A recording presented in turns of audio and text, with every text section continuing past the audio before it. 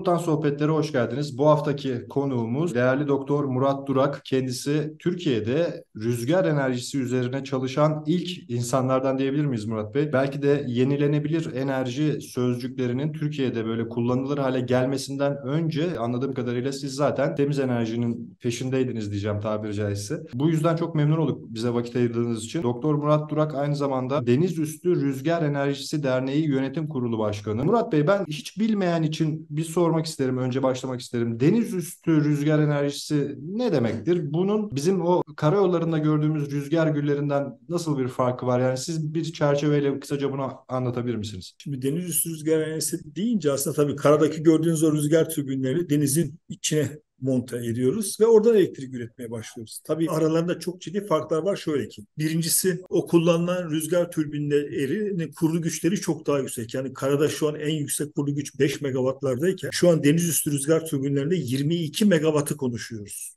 Wow. 2024'te 22 megawattı Çinli Mingyang firması piyasaya sürecek. Yani bu tabii ben 1996-97'lerde e, girdim bu işe. O zaman 150 kahva türbin vardı bak. Sonra 97 gibi 600 kilowattlık türbinler çıkınca devrim denildi yani rüzgar enerjisi piyasasında. 98'de falan 1 megawattlık türbinler çıkıldı tamam denilmişti. Şimdi tabii o günlerde şu anda 20-22 megawatt rüzgar türbinlerini konuşuyoruz ama bakın dikkat bunlar deniz üzerinde. Kara üzerinde o kadar yüksek kurulu güçler olamaz. Çünkü Türbinlerin boyutları çok büyük olduğu için kara üzerinde nakliyesi pek mümkün değil.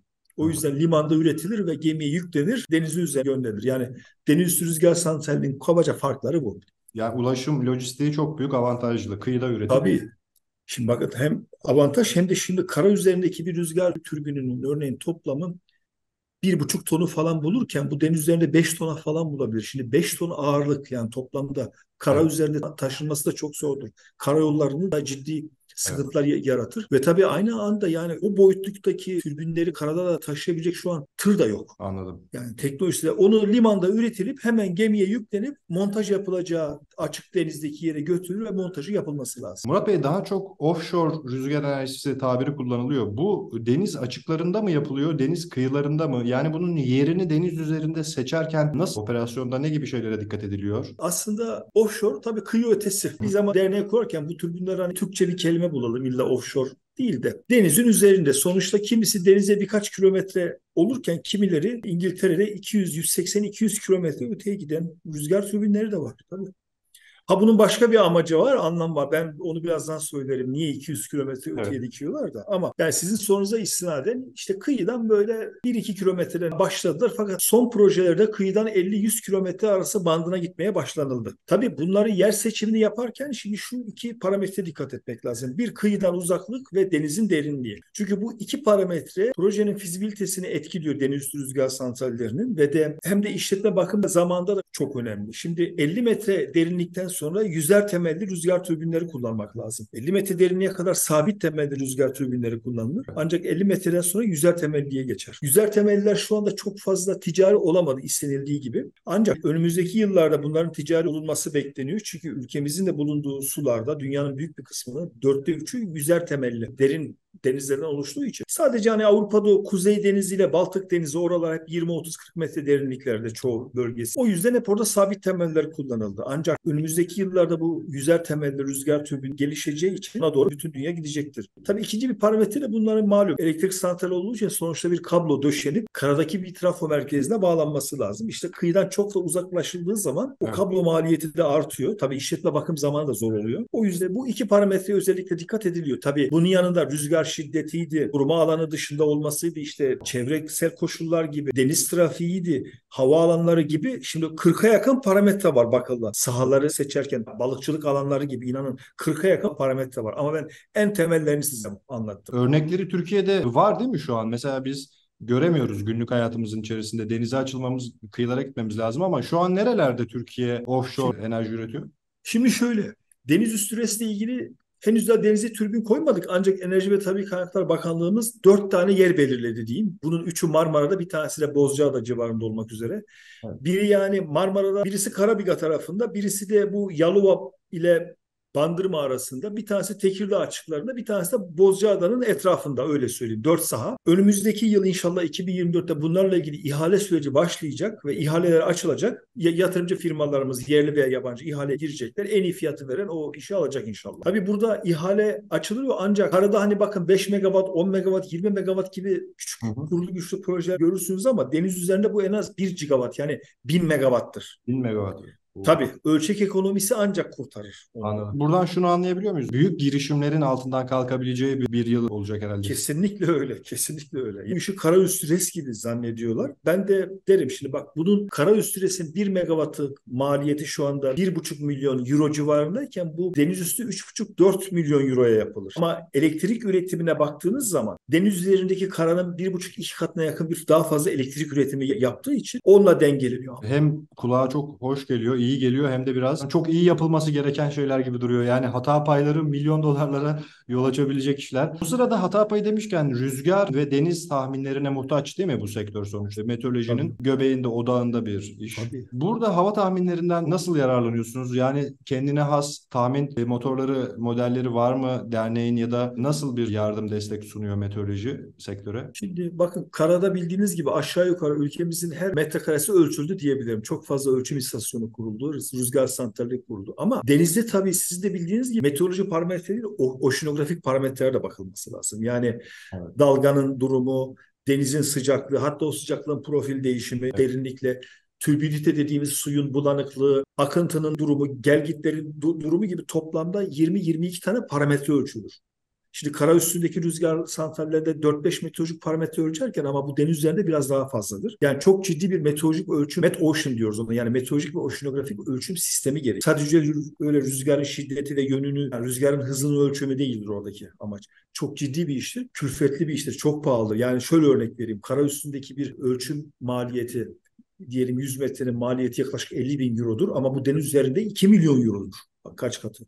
Dolayısıyla gerçekten hani bu işe büyük grupların ve ciddi sermayenin de yatırılması lazım. Yani bu petrolcülerin kuyu aramak için bazı atışları boşa atmasına benziyor değil mi? Deniyorlar. Aynen öyle, aynen öyle. İşte ha burada ne yapılabilir? İşte burada meteoroloji bilgisi gerekiyor. Şöyle ki yani genel bir gerek meteoroloji genel müdürlüğünden verilerini alıp gerekse global böyle bazı işte internetten veya uydu verileri alıp onlarla bir şey yapılıp önce sahadan yani ciddi bir sürpriz aşamamak için öngörülmeyen başka şeyler olabilir. Örneğin suyun sıcaklığı uygun olmayabilir veya akıntının durumu veya dalganın durumu o ayrı bir konu veya suyun tuzluluğu yoğunluğu veya suyun bulanıklığı ama meteoroloji ile ilgili ciddi bir hata yapmamak için zaten hali hazırda meteoroloji genel müdürlüğümüzün de şamandıraları var. Onlardan da faydalanmak lazım. Gelecekte tabii bulutların da belki destekleri olabilir bu bazı konularda. Çünkü lokal olarak hava tahmini ve söylediğiniz gibi fırtınalar, deniz yani bir sistem kuruyorsunuz. Bunu bir akışkanın içine kuruyorsunuz. Karada olsa kara katı.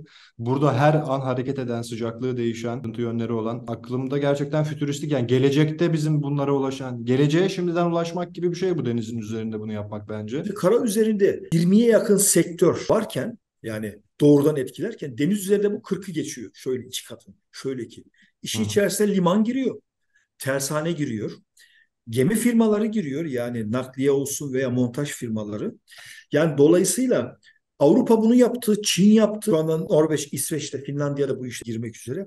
Ya aslında bütün dünya bunu yaptığı için ve 2030 yılı dünyadaki hedeflere bakıldığında yenilenebilir enerji en net hedefleri deniz rüzgar santrallerine koyuyorlar. Bunun birkaç sebebi var ama en önemli sebeplerinden bir tanesi bu enerji dönüşümü denen yani enerji transition'da hı hı.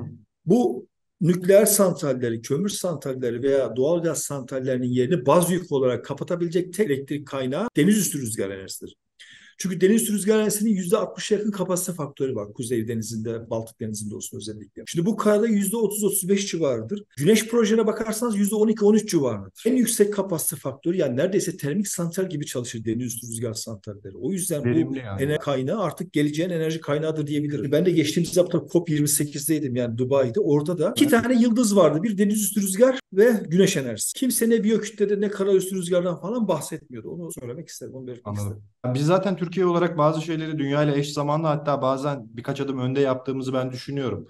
Yani özellikle teknoloji anlamında belli başlı fakültelerden mezun kişilerin çalıştıkları uğraşlar beni umutlandırıyor. Bizim denizlerimizin potansiyelini nasıl görüyorsunuz? Danimarka, Hollanda, İngiltere, Baltık'tı işte Atlantik'ti derken açık denizlere daha yakın ama bizim denizlerimizdeki fırtınalar da meşhur. Bizim denizlerimizin potansiyeli nasıl bu konuda? Bizim denizlerimize de bakın 100 gigawata yakın yani ülkemizin kurulu gücü 106 gigawattır. İşte neredeyse şu anda bütün ülkemizin kurulu gücü kadar bir potansiyel var. Dolayısıyla ama sadece kendi ülkemizi düşünmeyin. Kendi ülkemizin etrafındaki ülkeler yani Yunanistan, Karadeniz, Hazar Denizi çok yüksektir. Ya, Ukrayna'daki Azov Denizi, Akdeniz e, buralara da iş yapabileceğimiz yerler. Hani ben şimdi Madagaskar'ı, Tanzanya'yı konuşmuyorum veya Vietnam'ı, Tayvan'ı. Uçakla bir buçuk iki saatte gidebileceğim yerlerde çok büyük potansiyeller var. Ülkemizdeki civarımızdaki ülkelerle potansiyeline bakarsanız bu bin gigawattı yani ülkemizin kurulu gücünün 10 katı demek. Azerbaycan'da katalım. O Hazar Denizi'nden dolayı. Evet.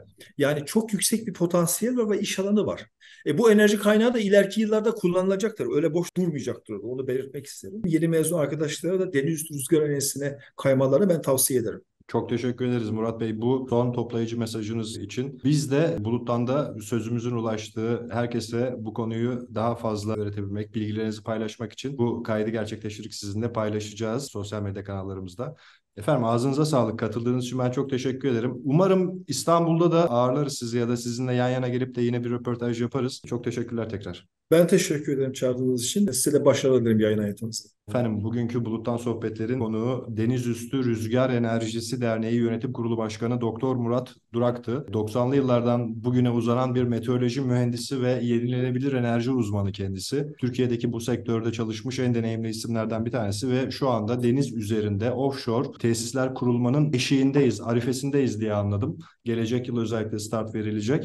Biz gelişmeleri takip edeceğiz. Dirsek teması derler ya, dirsek temasında olalım lütfen Murat Bey. Tekrar çok teşekkür ederim. Ben teşekkür ederim. İyi günler, iyi çalışmalar diliyorum.